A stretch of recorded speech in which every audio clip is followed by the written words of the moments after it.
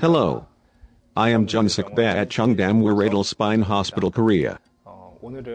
Today I will tell you about the causes and prevention of thoracic disc.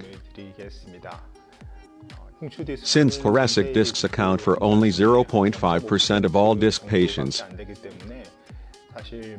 the cause is not well known compared to the neck or back.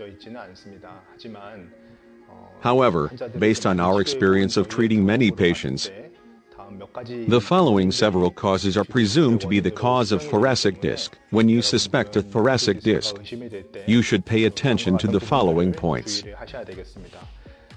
The first is physical overload.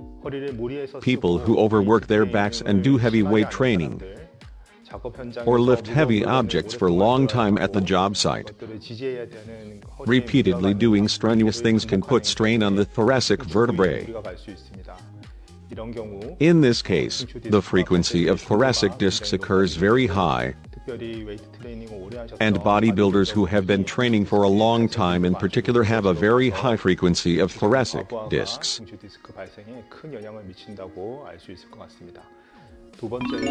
The second can be due to trauma. If you have sudden shock from a high-speed exercise, such as a car accident or accelerating while descending from a ski slope, your back may twist and a thoracic disc may occur.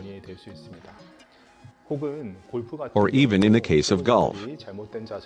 When beginners rotate their lower back in the wrong posture, rotational force is applied to the lower back or upper lumbar vertebrae.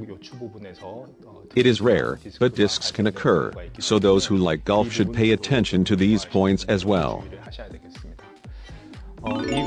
In addition, smoking or obesity constricts the microvessels supplied to the intervertebral annulus, causing the disc to not go through the natural healing process and to deteriorate into a progressive disc or calcified disc.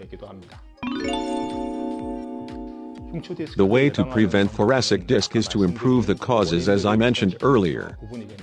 Lifestyle modifications, including smoking cessation and weight control, should be the first priority.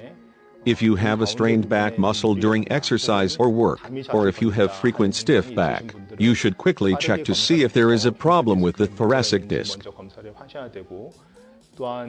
Also, when this is diagnosed at early stage, quickly modifying the harmful environments that put stress on the back is a way to prevent thoracic disc.